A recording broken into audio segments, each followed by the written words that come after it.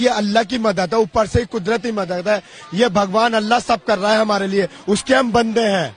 हमें कोई इंसान ने नहीं पता करा। सब ऊपर वाले ने किया है। नाम है आसिफ तूफानी। आसिफ तूफानी यार आपकी बात लोग मानेंगे नहीं सिर्फ़ एक बात बताओ। ये बात सही है सब अल्लाह ताला करता है। बिल्कुल सही बात है। ऊपर वाले की कृपा से ही सबका सब कुछ चलता है ठीक है? कर तो रहा है सुनो सुनो। कर कर तो ऊपर वाला रहा है। ज़रिया हमें ज़रिया हमें बना दिया।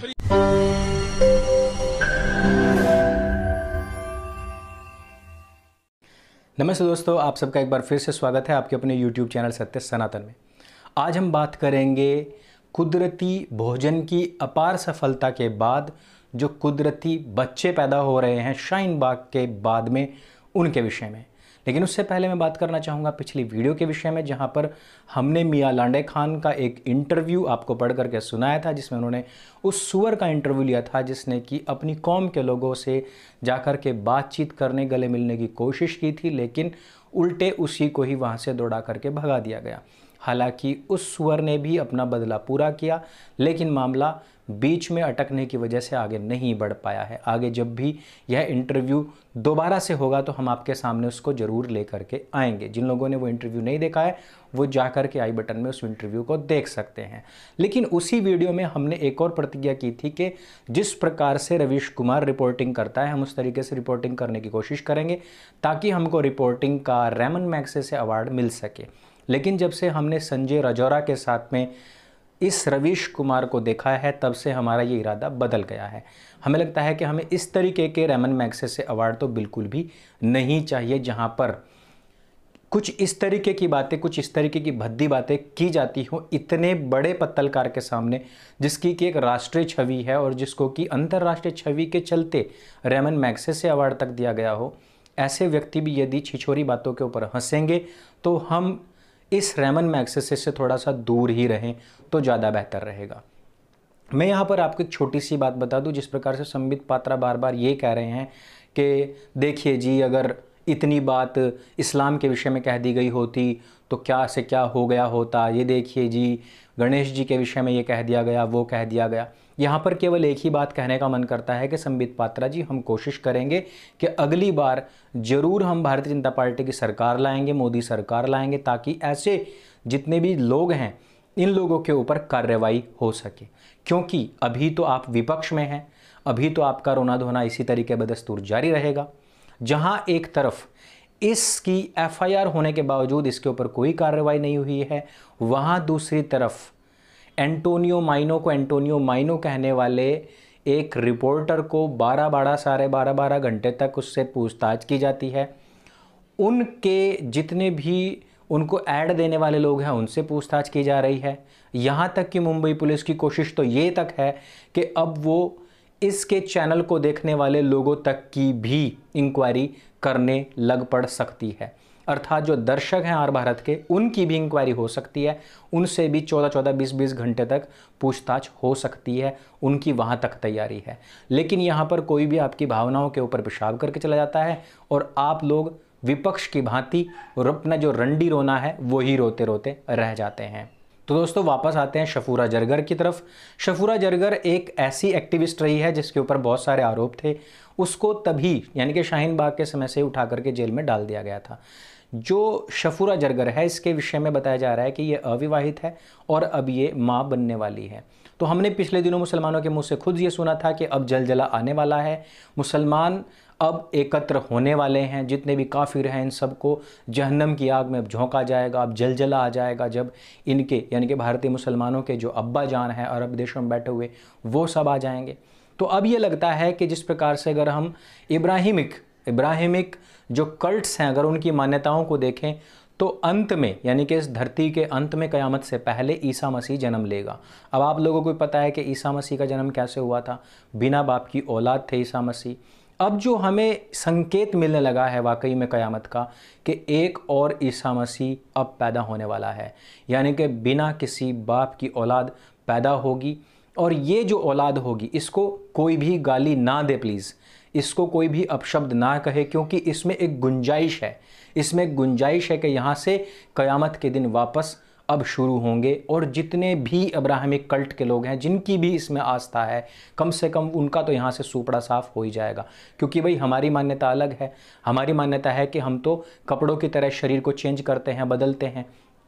हमारा तो जन्म और पुनर्जन्म होता रहता है। पिछले कर्माशयों के आधार पर हमें प्रतिफल मिलता रहता है। इसलिए इस मान्यता के लोग तो कम से कम सुरक्षित रहेंगे। लेकिन जिनकी मान्यता उसमें है यह जो आने वाली संतान है, ये आवश्यक ही रूप से वह ईसा मसीह बन कर के सामने आएगा, जो कयामत से पहले आने वाला था और सारे के सारे अब्राहमी कल्ट के लोगों को अपने साथ लेकर के जाएगा। आपने देखा था कि बहुत सारे एक्टिविस्ट थे ऐसे, जिन्होंने अपनी गाल पर लिखवाया था, फक हिंदू राष्ट्र। लेकिन शाहीन बाग के लॉन्डो ने इस बात को थोड़ा ज़्यादा सीरियसली ले लिया है। अब हिंदू राष्ट्र खोजने पर उसको मिला नहीं, अब मिली तो उसकी गाल अब उसने क्या किया? इवन दोस्तों यहीं तक बात नहीं रुकती है। यहाँ तक कहा जा रहा है कि एक प्रेग्नेंट लड़की को ऐसे समय में जेल में डाला गया है जबकि रमज़ान चल रहे हैं। दोस्तों वो प्रेग्नेंट हुई या नहीं हुई किस तरीके से हुई, किस तरीके से नहीं हुई, इसके विषय में हमें जाने की आवश्यकता नहीं है। क्योंकि ऑलरेडी सोशल मीडिया पर बहुत सारी कहानियाँ चल रही हैं। आप लोगों ने सुना हुआ एक सरदार जी हैं, जिन्होंने अपने बहुत सारे फ्लैट बेच करके शाइन बाग में भोजन आदि की व्यवस्था की थी। सुनने में आया कि उनके पास में बहुत सारे फ्लैट्स हैं और वो इस लड़की को अपने फ्लैट्स दिखाने के लिए ले भी जाते थे। वहाँ इससे कागज़ भी मांगा करते थे, कागज़ दिखाओ। और सरदार जी अक्सर उन कागज़ों पर अपनी मोहर मार दिया करते थे। तो इस विषय में मैं और बहुत सारी बातें आपको नहीं बता सकता हूँ, क्योंकि पाँच सौ रुपये और बिरयानी के साथ साथ जो हिलती हुई कारें थी जो डांसिंग कार्स थी उनके जो रुझान हैं वो तो सामने आने ही थे। अब धीरे धीरे करके और भी रुझान सामने आएँगे। जो जो लड़कियाँ इस तरीके की जो कारावास में बंद हैं उन सब के और रो, उनके रोने का मतलब भी ये नहीं है कि उनको जेल में डाला गया है या रमज़ान आ गया है। प्रॉब्लम ये है कि जेल के अंदर वो दवाई नहीं मिलती है जिससे कि इस तरीके की डांसिंग कार के जो प्रोडक्शन है उनको छिपाया जा सके। एक डॉक्टर हैं डॉक्टर लिली। उन्होंने सिर्फ़ इतना कह दिया कि भैया आपको उस टाइम पर प्रोटेक्शन यूज़ करनी चाहिए थी। क्या आपको पता है कि उस लड़की का कितना बुरा हाल किया गया है इन जिहादी जमातियों की तरफ़ से? उनको डायरेक्ट मैसेज कर करके उनको गंदे गंदे मैसेज किए जा रहे हैं, उनको धमकाया जा रहा है, उनका हरासमेंट किया जा रहा है और उनसे सेक्स की डिमांड तक की जा रही है कि हम प्रोटेक्शन यूज़ करेंगे। आप हमारे साथ आ जाइए। क्या दोस्तों हम इस तरीके की जहनीत को बहुत ज़्यादा दिनों तक इसी तरीके से झेलते रह सकते हैं? बिल्कुल भी नहीं। आप लोगों ने एक बात हमेशा सुनी होगी और कमेंट्स में भी आपने अक्सर पढ़ा होगा कि हिंदुओं के लिए अक्सर ये बात यूज़ की जाती है कि तू गुफा का पैदाइश है, तू नियोग की पैदाइश है और तू बाबा की पैदाइश है, तू आसाराम की पैदाइश है। क्या ये लोग आज अपने इस विषय में बताएँगे कि ये बच्चा किसकी पैदाइश है? हो सकता है मेरी इस बात पर कुछ लोग भड़क जाएँ। हो सकता है कुछ लोग कहें कि देखिए, इनको महिलाओं का सम्मान करना नहीं आता है। मुझे इस बात से कोई फ़र्क नहीं पड़ता है, क्योंकि जो लोग खुद महिलाओं का सम्मान नहीं करते हैं, वो हमें महिलाओं का सम्मान और अपमान की बात तो बिल्कुल भी ना सिखाएँ। क्योंकि वो माँ बहनें भी माँ बहनें हैं जिनके ऊपर इस तरीके के लांछन लगाए जाते हैं। यदि कोई व्यक्ति किसी तथ्य को आजकल सोशल मीडिया पर रखता है, सीधे उसकी माँ बहन को गाली दी जाती है। सीधे उसको आसाराम से जोड़ दिया जाता है, सीधे उसको गुफा की पैदाइश बताया जाता है, सीधे उसको नियोग की पैदाइश बताया जाता है।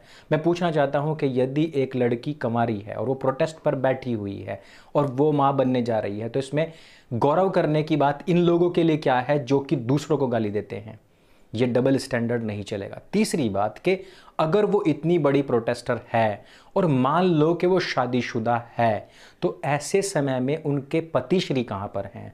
ऐसे समय में यदि मान लो कि वो विवाहिता है तो वो व्यक्ति कहाँ है जिसकी वजह से वो आज इस स्थिति में पड़ी हुई है? तीसरी चीज़ कि प्रोटेस्ट के बीच में क्या इतना समय मिल जाता है कि ताकि वो अपने बच्चे भी पैदा कर सके? मैं फिर से कहूँगा कि प्रॉब्लम ये बिल्कुल भी नहीं है कि वो जेल में है। प्रॉब्लम ये है कि जेल में होने की वजह से वो दवाइयाँ नहीं मिल पाई हैं, जिनकी वजह से इसको छिपाया जा सकता था। अब ये दुनिया के सामने उजागर हो चुका है। हालाँकि हालाँकि ये इन लोगों के लिए बहुत बड़ी बात नहीं है, जो लोग रात दिन माँ बहनों को गाली देते हों।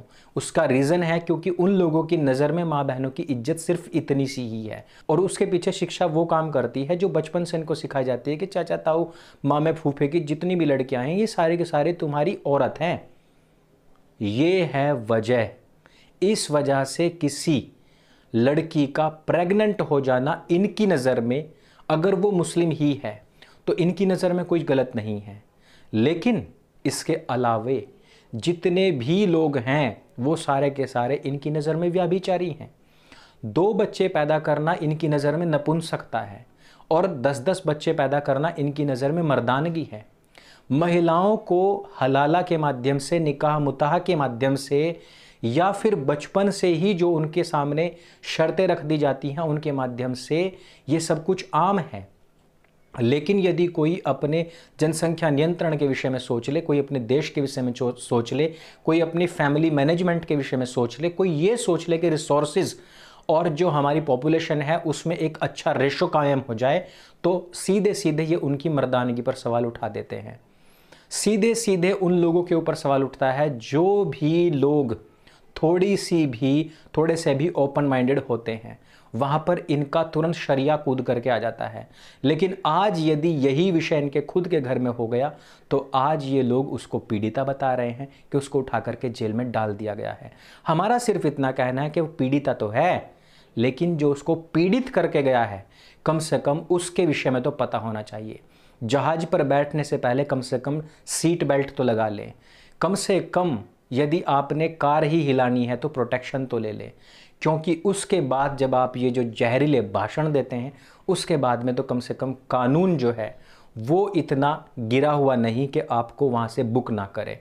वो बुक तो करेगा, लेकिन दो महीने पहले खिलाए हुए गुल जिस टाइम पर फूल बन कर के खिलेंगे, वो झाड़ू की तरह फूल बन कर के खिलते हैं। वो अंदर से बाहर की तरफ़ फाड़ते हुए निकलते हैं। और ऐसे में रोना क्या? क्योंकि ये तो कुदरती औलाद है। कुदरती बच्चा है, कुदरती भोजन की तरह ही। इसको एज ईजीली एक्सेप्ट कीजिए और दूसरों की तरफ़ उंगली उठाने से पहले अपनी तरफ़ देख लीजिए। पाँच हज़ार, दस हज़ार साल पुरानी बात उठाने वाले पाँच दस घंटे में ही किस तरीके से बिल बिलाने लगे, सोशल मीडिया ने आज ये बता दिया है। किसी व्यक्ति ने फ़क हिंदू राष्ट्र को किस तरफ़, किस एंगल में सीरियसली ले लिया है? हम लोगों को पता लग गया है। शाहीन बाग में अक्सर क्या होता था, हम लोगों को पता लग गया है। इससे ज़्यादा हमें जानने की आवश्यकता नहीं है। इस वीडियो में सिर्फ़ इतना ही। अगर ये वीडियो आपको जानकारी से भरपूर लगे तो इसको सबके साथ में शेयर अवश्य करें। मेरे संग बोली सत्य सनातन वैदिक धर्म की जय। जय हिंद, वंदे मातरम।